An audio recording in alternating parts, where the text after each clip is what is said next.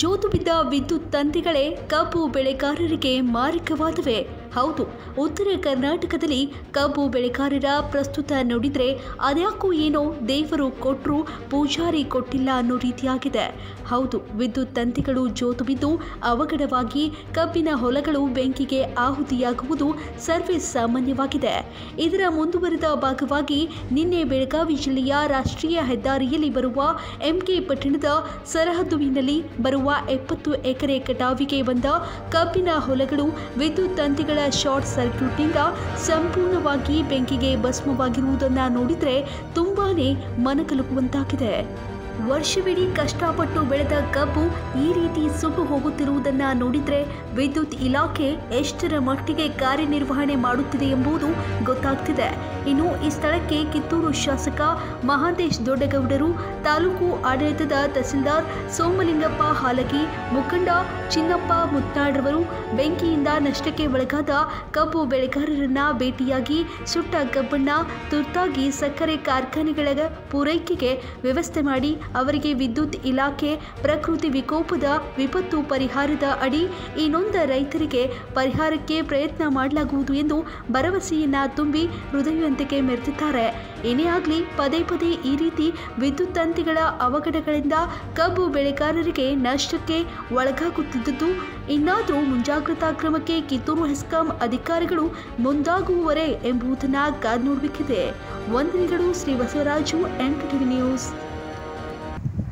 ಒಂದು ರೀತಿ ಏನಪ್ಪ ಅಂತಂದರೆ ಕಳೆದ ಮೂರು, ನಾಲ್ಕು ವರ್ಷಗಳಿಂದ ಗಾಯದ ಮೇಲೆ ಬರೆ ಎಳ್ದಂತಾಗಿದೆ. ಯಾಕಪ್ಪ ಈ ಬಗ್ಗೆ ಹೇಳ್ತೀನಂದರೆ ಸಾಕಷ್ಟು ಒಂದು ರೀತಿ ಬೆಂಬಲ ಬೆಲೆ, ಸೂಕ್ತ ಬೆಲೆ, ಸೂಕ್ತ ಮಾರುಕಟ್ಟೆ ಇಲ್ಲದೆ ಒಂದು ಕಡೆ ನಷ್ಟಕ್ಕೆ ಇನ್ನೊಂದು ಕಡೆ ಪ್ರಕೃತಿ ವಿಕೋಪ ಮತ್ತು ವಿದ್ಯುತ್ ಅವಘಡದಿಂದ ಹಲವಾರು ಬೆಳೆಗಾರರು, ವಿಶೇಷವಾಗಿ ಕಬ್ಬು ಬೆಳೆಗಾರರಿಗೆ ಬೆಳೆ ಸುಟ್ಟೋಗ್ತಕ್ಕಂಥದ್ದು ಕಟಾವಿಗೆ ಸಂದರ್ಭದಲ್ಲಿ ಈ ಉತ್ತರ ಕರ್ನಾಟಕದಲ್ಲಿ ಸರ್ವೇ ಸಾಮಾನ್ಯಗಿದೆ ಇದನ್ನು ನಾನು ಉದಾಹರಣೆಗೆ ತೋರಿಸ್ತಕ್ಕಂಥದ್ದು ಬೆಳಗಾವಿ ಜಿಲ್ಲೆಯ ಕಿತ್ತೂರು ತಾಲೂಕಿನ ರಾಷ್ಟ್ರೀಯದಲ್ಲಿ ಬರ್ತಕ್ಕಂಥ ಎಂ ಕೆ ಹುಬ್ಬಳ್ಳಿ ಪಟ್ಟಣದ ಒಂದು ಬಲಭಾಗದಲ್ಲಿರ್ತಕ್ಕಂಥ ಹಲವಾರು ಒಂದು ಅರವತ್ತರಿಂದ ಎಪ್ಪತ್ತು ಎಕರೆಗೂ ಹೆಚ್ಚು ಕಟಾವಿಗೆ ಬಂದಿದ್ದ ಒಂದು ಕಬ್ಬು ಬೆಳೆ ಇವತ್ತು ಸಾಕಷ್ಟು ಒಂದು ರೀತಿ ವಿದ್ಯುತ್ ಅವಘಡದ ಒಂದು ಇದರಿಂದ ನಷ್ಟವಾಗಿ ಸಾಕಷ್ಟು ಬೆಂಕಿಗೆ ಆಹುತಿಯಾಗಿದೆ. ಇದರಿಂದ ಸಾಕಷ್ಟು ಸಾಲ ಸೋಲ ಮಾಡಿ ಪ್ರತಿ ವರ್ಷ ಕಷ್ಟಪಟ್ಟು ಬೆಳೆದಿದ್ರು. ಸಾಕಷ್ಟು ನೋವಿನಲ್ಲಿ ಸಹ ಸಾಕಷ್ಟು ಬೆವರು ಸುರಿಸಿ ಬೆಳೆದಿರ್ತಕ್ಕಂಥ ಈ ಒಂದು ಕಬ್ಬಿನ ಬೆಳೆ ನೆನ್ನೆ ತಾನೇ ಬೆಂಕಿಗೆ ಆಹುತಿಯಾದರೆ ಈಗಾಗ್ಬಿಟ್ರೆ ಹೆಂಗೆ ಕಬ್ಬುಗೆ ಬೆಳೆಗಾರನ ಪರಿಸ್ಥಿತಿ ಅಂತಕ್ಕಂಥದ್ದು ನನ್ನ ಪ್ರಶ್ನೆ. ಮೊದಲೇ ಸರ್ಕಾರ ಬೆಳೆದಿರ್ತಕ್ಕಂಥ ಬೆಳೆಗಳಿಗೆ ಸಕ್ಕರೆ ಕಾರ್ಖಾನೆಗೆ ಕೊಡ್ತಾರೆ, ಸೂಕ್ತ ಬೆಲೆ ಕೊಡಲ್ಲ, ಮತ್ತು ಸರಿಯಾಗಿ ಬಿಲ್ ಕೊಡಲ್ಲ. ಇಂಥ ಸಂದರ್ಭದಲ್ಲಿ ಸಾಕಷ್ಟು ಬೆವರು ಸುರಿಸಿ ಕಷ್ಟಪಟ್ಟು ಬೆಳೆದಿರ್ತಾನೆ. ಕಟಾವು ಸಂದರ್ಭದಲ್ಲಿ ರೀತಿ ಆಗ್ಬಿಟ್ರೆ ಯಾರ ಮೇಲೆ ಕೇಳೋದು? ಮೊದಲೇ ಪದೇ ಪದೇ ವಿದ್ಯುತ್ ಇಲಾಖೆ ಅಧಿಕಾರಿಗಳಿಗೆ ಪದೇ ಪದೇ ಹೇಳಿದ್ವಿ. ಸಾಕಷ್ಟು ಎಲ್ಲಿ ತಂತಿ ಜ್ಯೋತಿ ಬದ್ದಿರ್ತವೋ ಅವನ್ನೆಲ್ಲ ಸರಿಪಡಿಸಿ ಮಧ್ಯೆ ಒಂದು ಕಂಬಗಳು ಹಾಕಿ ಅಂತ ಹೇಳ್ಬಿಟ್ಟು. ಇವತ್ತು ಎಸ್ಕಾಂ ಮತ್ತು ವಿದ್ಯೆ, ವಿಶೇಷವಾಗಿ ವಿದ್ಯುತ್ ಇಲಾಖೆ ಅಧಿಕಾರಿಗಳ ನಿರ್ಲಕ್ಷ್ಯದಿಂದ ಇವತ್ತು ಅರವತ್ತು ಎಕರೆ ಪಾಪ ಇವತ್ತು ಕಬ್ಬಿನ ಬೆಳೆಗಾರ ತುಂಬ ನೋವಿನ ಸಂಕಷ್ಟದಲ್ಲಿದ್ದಾರೆ. ಇದಕ್ಕೆಲ್ಲ ಕಾರಣ ಆ ಕೆ ಬಿ ಇಲಾಖೆ ಅಧಿಕಾರಿಗಳು. ಹಾಗಾಗಿ ದಯವಿಟ್ಟು ಇನ್ಮೇಲಾದರೂ ಸಹ ಸಂಬಂಧಪಟ್ಟ ಇಲಾಖೆ ಅಧಿಕಾರಿಗಳು ಮತ್ತು ಆ ಕೆ ಬಿ ಇಲಾಖೆ ಅಧಿಕಾರಿಗಳು ದಯವಿಟ್ಟು ರೈತರುಗಳಿಗೆ ಅನುಕೂಲ ಆಗೋ ರೀತಿ ಒಂದು ತಂತಿಗಳನ್ನ ಜೋಡಣೆ ಮಾಡಬೇಕು. ಮತ್ತು ವಿಶೇಷವಾಗಿ ಈಗ ಪಾಪ ನೋಡು ಸಾಕಷ್ಟು ಕರುಣ್ಕೊಪ್ಪ ಸಂಪಗಾರು, ಮತ್ತು ಅಗಸಿ ಬಾಗಿಲು, ಮತ್ತು ಕೊಡ್ಲಿ, ಮತ್ತು ಕರುಣ್ಕೊಪ್ಪ ಹೀಗೆ ಹಲವಾರು ಒಂದು ಫ್ಯಾಮಿಲಿಗಳ ಒಂದು ಹಲವಾರು ಕುಟುಂಬಗಳ ಒಂದು ಎಷ್ಟು ಎಷ್ಟು ಎಕರೆ ಟೋಟಲು ಒಂದು ಅರವತ್ತರಿಂದ ಎಪ್ಪತ್ತು ಎಕರೆ ಈ ರೀತಿ ಬೆಂಕಿಗೆ ಆಹುತಿ ಆಗ್ಬಿಟ್ರೆ ಸಾಕಷ್ಟು ಸಮಸ್ಯೆ ಆಗಿದೆ. ಹಾಗಾಗಿ ದಯವಿಟ್ಟು ನಾನಿವತ್ತು ವಿಡಿಯೋ ಮುಖಾಂತರ ಮನೆ ಮಾಡ್ಕೊಳ್ತೇನೆ. ದಯವಿಟ್ಟು ಸರ್ಕಾರ ಮತ್ತು ಸಕ್ಕರೆ ಇಲಾಖೆ ಮತ್ತು ಕೃಷಿ ಇಲಾಖೆ ದಯವಿಟ್ಟು ನೋವಿನಲ್ಲಿರ್ತಕ್ಕಂಥ, ಸಾಕಷ್ಟು ನಷ್ಟಕ್ಕೆ ಒಳಗಾಗಿರ್ತಕ್ಕಂಥ ಮತ್ತು ಬೆಂಕಿಗೆ ತುತ್ತಾಗಿರ್ತಕ್ಕಂಥ ಈ ಒಂದು ರೈತ ಕುಟುಂಬಗಳಿಗೆ ಕೂಡಲೇ ಸರ್ಕಾರ ಅನುದಾನ ಘೋಷಣೆ ಮಾಡಬೇಕು ಪರಿಹಾರ. ಜೊತೆಗೆ ಆ, ವಿದ್ಯುತ್ ಇಲಾಖೆಗಳು ಸಹ ಕೂಡಲೇ ಪರಿಹಾರ ಕೊಡಬೇಕು ಅಂತ ಹೇಳ್ಬಿಟ್ಟು ಸಂದರ್ಭದಲ್ಲಿ ಮನೆ ಮಾಡ್ಕೊಳ್ತಾ ಬನ್ನಿ ಈ ಬಗ್ಗೆ ಏನೇನು ಸ್ಟೋರಿ ಅನ್ನೋದನ್ನ ನಾನು ಸುದೀರ್ಘವಾಗಿ ತೋರಿಸ್ತೀನಿ. ನಾನು ನಿಮ್ಮ ಬಸವರಾಜು. ಅಷ್ಟು ನೋವಿಲ್ಲದಿದ್ರಿ ಇದೊಂದು ರೀತಿ ಗಾಯದ ಮೇಲೆ ಬರೆ ಹೇಳ್ದಂತಾಗಿದೆ ಕಬ್ಬು ಸುಟ್ಟೋಗಿರ್ತಕ್ಕಂಥದ್ದು. ಹೌದು ನಿನ್ನೆ ಹೇಳಿದಾಗ ಮುಂಜಾನೆ ಹನ್ನೊಂದರಿಂದ ಹನ್ನೊಂದುವರೆಗೆ ಬೆಂಕಿ ಇಟ್ಟಿರ್ತೀವಿ ಓಕೆ. ಹತ್ತಿ ಅಲ್ಲಿಂದ ಬಂದು ಆಚೆ ಬಂದು ಎಲ್ಲ ಊರಾನ್ ಮಂದಿ ಬಂದು ನಿಂದಿಸಿ ಫೈರ್ ಗಾಡಿ ಬಂದು ಬಂದು ಎಲ್ಲ ಗಾಡಿ ನಿಂದಿಸಿ ಇದು ಮಾಡಿ ಎಲ್ಲ ಮೂರು ನಾಲ್ಕು ಗಂಟೆ ಆಯಿತು. ಹಾ. ಆನಂತರ ತಹಸೀಲ್ದಾರ್ ಬಂದರು. ಇನ್ನು ಅನೇಕ ಪಿ ಡಬ್ಲ್ಯೂ ಡಿ ಅವರು ಇವರು. ಕೆ ಬಿ ಅವರು ಬಂದರು.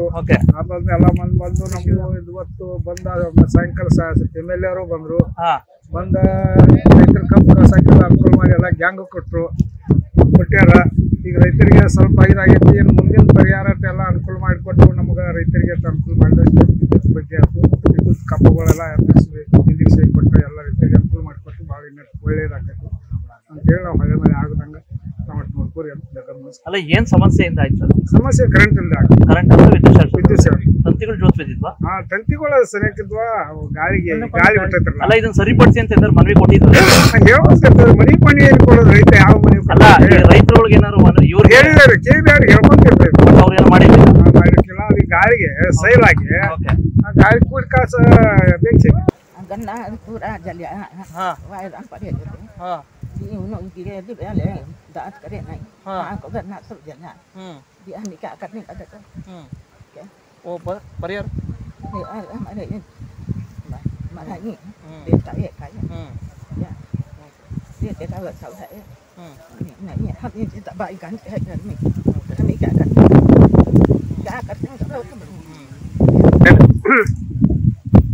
ಒಂದು ಅರವತ್ತರಿಂದ ಎಪ್ಪತ್ತು ಎಕರೆ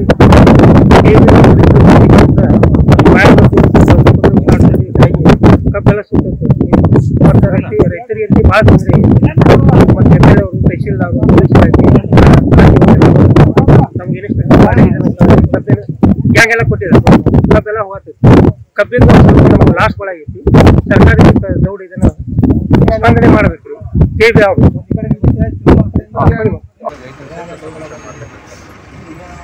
ಉಳಿದಂಥ ಅದಕ್ಕೆ ಯಾವ ರೀತಿಯಾದ ಸ ಕೇಬ್ ಮುಖಾಂತರ ಅದೇನಾದ ಸ್ಪಾಕ್ ಆಗಿ ಸುಟ್ಟಿದ್ದು ಹಸು ಸಂಬಂಧಪಟ್ಟಂಥ ತಿಳ್ಕೊಂಡು ನಾನು ಮಾತಾಡ್ತೀನಿ.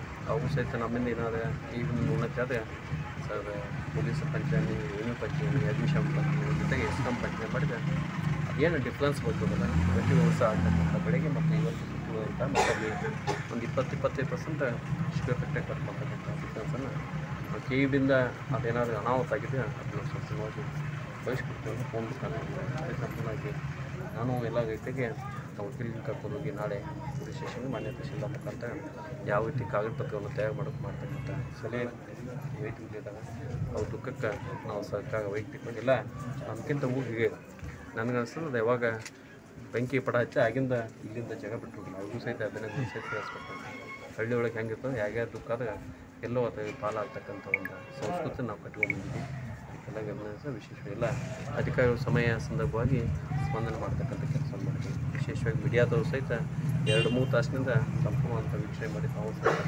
ಒಳ್ಳೆಯದಂಥ ಅವ್ರಿಗೆ ರೈತರಿಗೆ ಅದ್ಭುತವಾಗಿ ಕಾಲಾಗಿದ್ದ ತಮಗೂ ಆ ಒಂದು ರೈತರ ದುಃಖಕ್ಕೆ ತೊಂದರೆ ಇದ್ದಂಥ ಇದೊಂದು ಭಾಳ ತೊಂದರೆ ಅನುಭವಿ ಅವ್ರ ಜೊತೆಗೆ ನಾವು ಇರ್ತೀವಿ ಅಂತೇಳಿ ಸರ್, ಇನ್ನ ರೈತರುಗಳು, ವಿಶೇಷವಾಗಿ ಕಬ್ಬು ಬೆಳೆಗಾರರು, ಈ ಕಬ್ಬು ಕಟಾವು ಸಂದರ್ಭದಲ್ಲಿ ಎರಡು ಸಮಸ್ಯೆ ಫೇಸ್ ಮಾಡ್ತಾವೆ ಸರ್. ಒಂದು ಕಬ್ಬಿನ ಹೊಲಗಳಿಗೆ ಬರ್ತಕ್ಕಂಥ ಒಂದು ರಸ್ತೆಗಳು ಸಹ ಸಾಕಷ್ಟು ಇದಾಗಿದೆ ಸರ್. ಸಾಕಷ್ಟು ಇದಾಗಿದೆ. ಮತ್ತು ಕಬ್ಬು ಕಟಾವು ಸಂದರ್ಭದಲ್ಲಿ ತಂತಿಗಳು ಜೋತು ಬಿದ್ದು ವಿದ್ಯುತ್ ಶಾರ್ಟ್ ಶಾರ್ಟ್ ಸರ್ಕ್ಯೂಟ್ ಆಗ್ತಾ ಇದೆ. ಹಾಗಾಗಿ ತಾವೇನಾದ್ರು ಮುನ್, ಬರ್ತಕ್ಕಂಥ ದಿನಗಳಲ್ಲಿ ಮುಂಜಾಗ್ರತಾ ಕ್ರಮಗಳನ್ನ ಸೂಚನೆ ಮಾಡ್ತೀರ ಅಧಿಕಾರಿಗಳಿಗೆ? ಈಗಾಗಲೇ ರಸ್ತೆಗಳಿಗೆ ನಾವು ಎನ್ನಾಜಿ ಮುಖಾಂತರ ಎಲ್ಲ ಕಡೆ ರಸ್ತೆಗಳನ್ನ ವಿಶೇಷವಾಗಿ ಮಾಡ್ತಾ ಇದ್ದೀವಿ.